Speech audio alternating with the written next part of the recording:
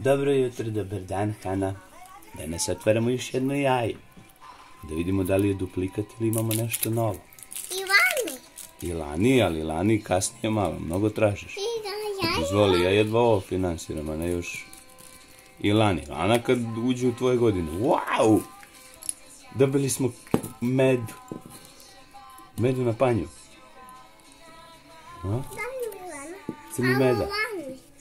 Mamu Čekaj, sad ne znam, stvarno ovo je-. Ovo je već, ima četiri dela, ono kad ima dva, tri, ja i skontam ovako.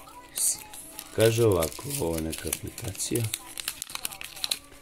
Kaže, prvo spoji medu, prvo spoji medu i drvo.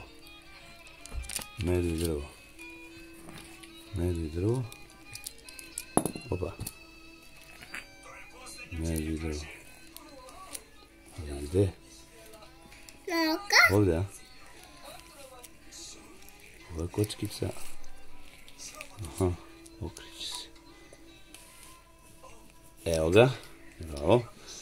Onda spoji donji deo mede sa drvetom.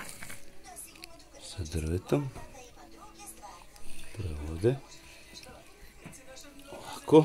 Bravo medo. Evo ga već je sad meda funkcionalan. Lep je. I kaže na kraju spoji ovo i ovo. Dobro. Ovako. Wow, krupan je, vidi ga. Mišićevi meda, a? Čekaj da vidimo šta ume. Da vidimo šta ume meda. Meda ume da sedi. E, žena, ovo je posljednji put da si ti snimala. Ja moram da snimam i da otvaram jaje. Ne vredi.